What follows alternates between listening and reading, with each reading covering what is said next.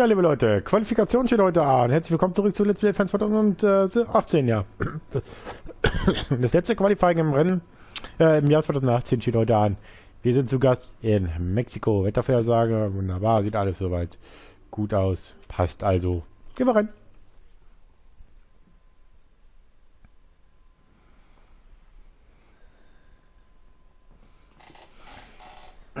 Mal schauen, was heute drin ist.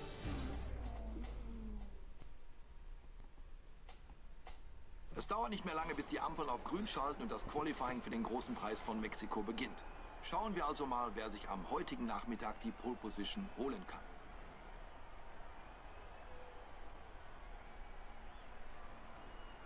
Wenn es darum geht, Rundenzeit aus der Strecke herauszuholen, erreicht man das gewöhnlich durch Maximierung der Spitzengeschwindigkeit. Sollte man den Abtrieb minimieren, die Kurven mit Risiko angehen und auf den Geraden alles rausholen? Die Teams sind mit einer Vielzahl von Teilen eingetroffen, mit denen sie das meiste aus den langen Geraden herausholen wollen. Die Wagen werden zwar in den Kurven schwerer zu steuern sein, aber das gilt ja dann für alle Teams. Hm. Da sind wir. Wir gehen mal auf die Strecke schon.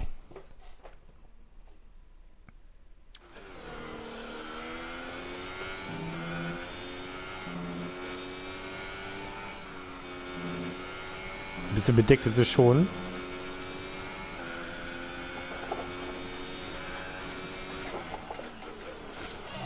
Da kann man wieder diese 16er Zeit. 16,7 hatten wir ja im Training, im dritten. Gestern.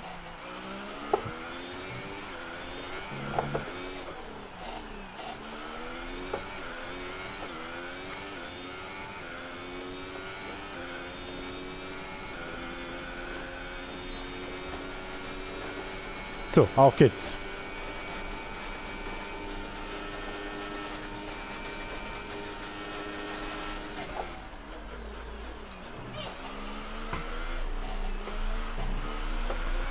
Ein bisschen konzentrieren jetzt gerade.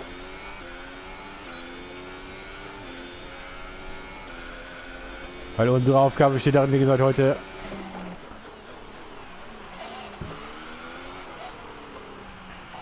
Ja, die Runde ist natürlich alles anders. Perfekt, definitiv. Nico für die Bestzeit. Vor uns ist es Mercedes sogar.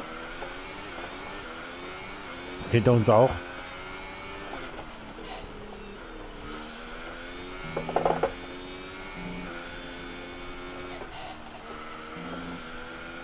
Kimi Bestzeit 17,4. Ich glaube, das wird schwierig, da ranzukommen mit der Zeit hier. Wobei er momentan immer vorne eine gute halbe Sekunde. Ist davor? Ist das Bottas? Ich glaube ja.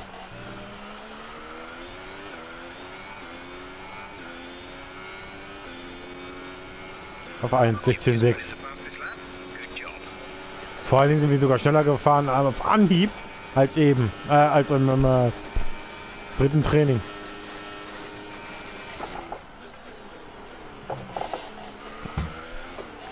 Und auf eure Frage, ja, es dürfte Bottas sein für uns.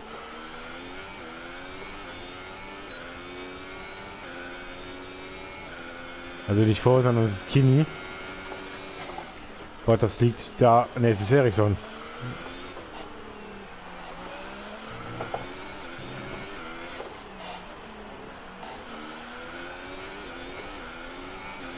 Der jetzt da vorne liegt. Der vor uns fährt. Ja, ich muss so eine Aktion. Da das Schiff ist ein bisschen vom Gas runtergegangen und ich wollte damit Vollgas vorbeifliegen. Weil das eigentlich für mich ein Vollgasstück ist.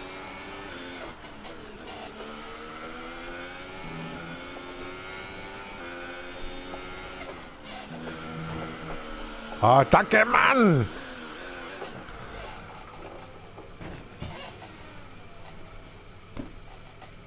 Hey, das ist doch nicht wahr, was du da ver...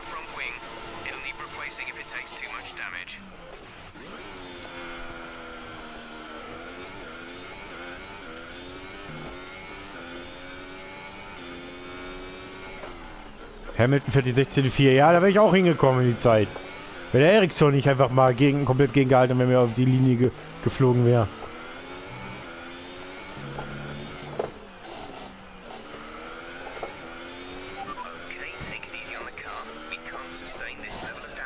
Wir müssen eh jetzt in die Box neu, neuen Flü Flügel holen.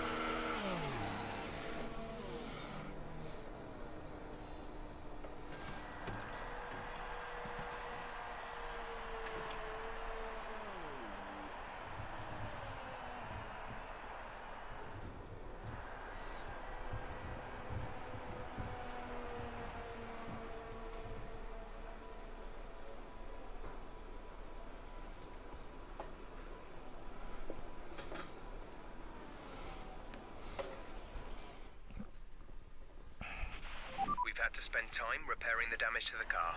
Our best lap so far is a 1 minute 16.6. Dann auf drei. Wir fahren nochmal neuen. Ich nehme nochmal unseren Reifen und dann versuchen wir es nochmal.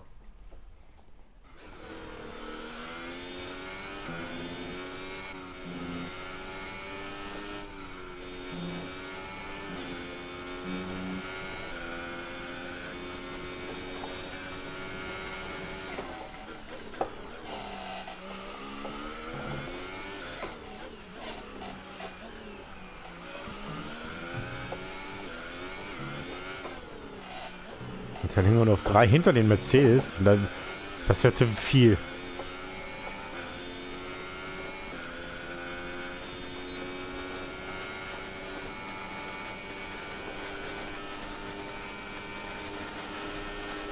Sechzehn drei müsste Hamilton haben, wenn ich es richtig sehe.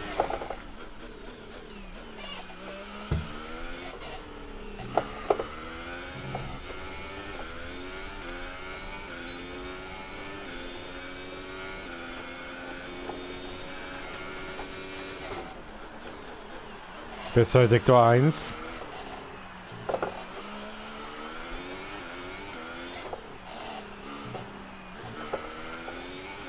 Da sind wir deutlich vorne.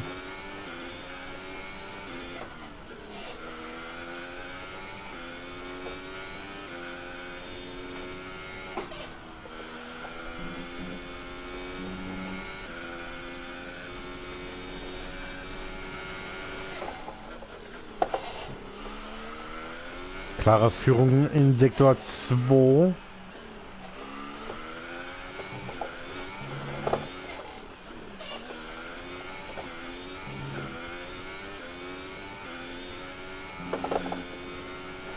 Fünfzehn zwei Bestzeit.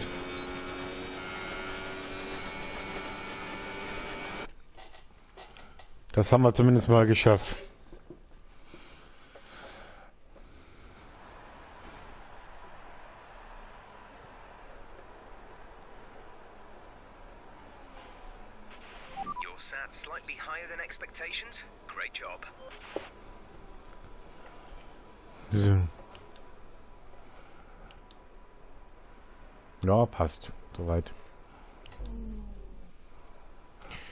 Ich, dass der Kimi sich noch da reinmogelt zwischen die beiden Mercedes. Wie gesagt, umso weniger Punkte Bottas holt, umso einfacher halten wir das nächste Woche in Brasilien.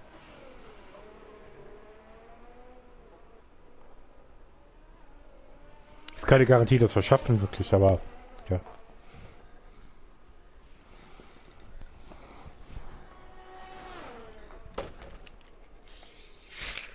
So, in der Zeit nutze ich mal gerade was zu trinken. Ich bin sofort zurück.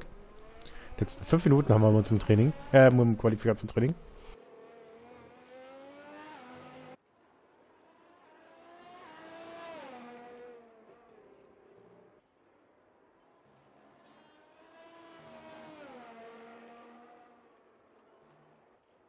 So. Jetzt haben wir noch genau fünf Minuten.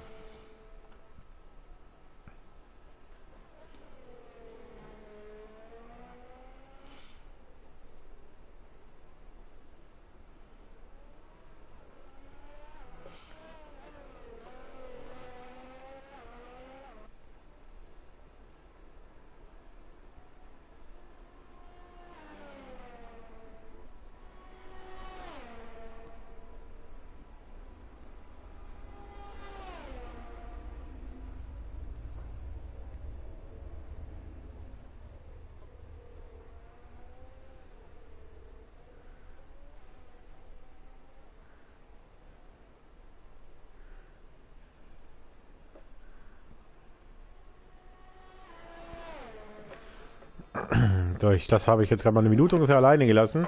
Vielleicht noch ein bisschen was teilweise organisatorisches nebenbei erledigen werde. Ja, sind im Let's Play, ich weiß. Oh, Hamilton, Bottas, ja, Kimi kommt. Es kann auch nicht sein, dass du noch, noch ein bisschen was... Halbe Sekunde muss er noch finden. 28,8 erster Sektor. Damit wird er gar nichts gewinnen. Das ist eine Sekunde langsamer als Hamilton. Damit wird er da auf jeden Fall auch bleiben. Weil Bottas wird wohl kaum noch mal eine Zeitstrafe, eine Gridstrafe bekommen.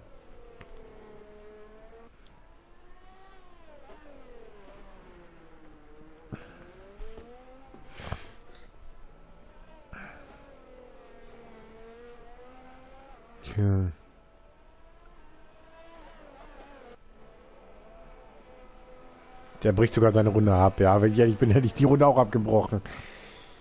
Weil die war in allem lang 29,1. Ja, ich weiß nicht, wie die zweite Sektorzeit war, aber die war auch die deutlich langsamer. Also wie gesagt, im ersten Sektor schon eine Sekunde schon. So, jetzt geht Hamilton auf eine schnelle Runde. Mal gucken, was der noch eben bastelt jetzt.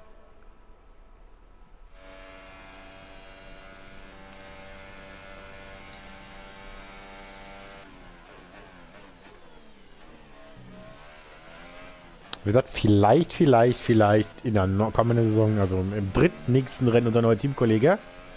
Steht aber definitiv noch nichts fest.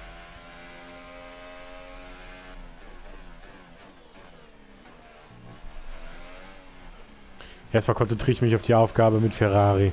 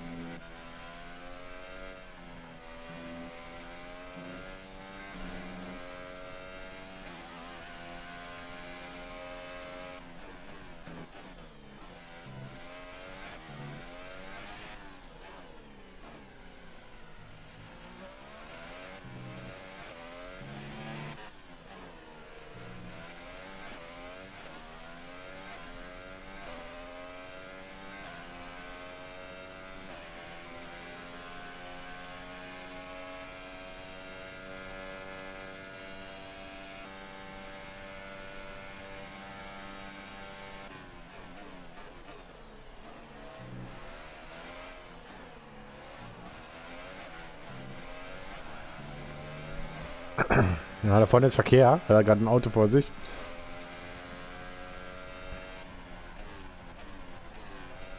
Das könnte ihm gerade schön die Runde versauen. Das tut es auch. Ich sehe gerade aber nicht, wer es jetzt sein könnte. Was ist das für ein Auto vor uns? Da vor ihm.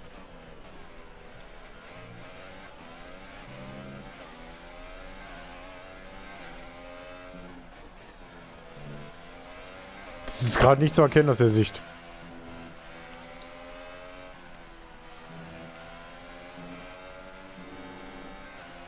Es ist ein Toro Rosso. Oder? Ja. Aber welcher kann ich nicht sagen. Ich habe das gerade auch nur an dem silbernen Symbol am Flügel, am Heckflügel erkannt. Es ist schwierig zu sehen von der Sicht aus. Na, die bricht ab die Runde. Die Runde bricht auch ab.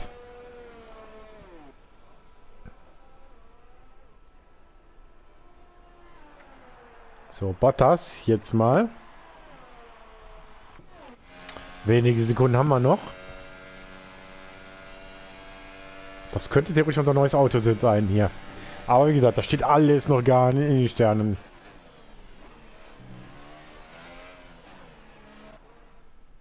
Die Startreihen für das Rennen morgen stehen fest, werfen wir aber schnell noch einen Blick auf die Top 3. Garcia, Hamilton und Valtteri Bottas. Fürs Erste verabschiede ich mich von Ihnen, aber richtig los geht es ja ohnehin erst morgen. Seien richtig. Sie auf jeden Fall mit dabei, wenn es ums Eingemachte geht. Genau so ist es. Ähm, ja.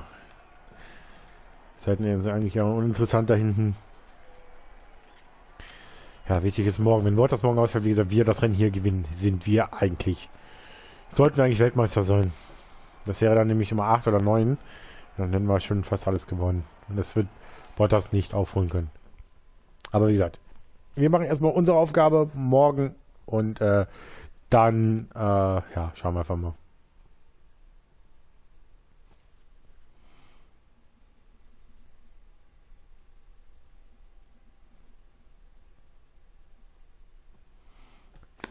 So.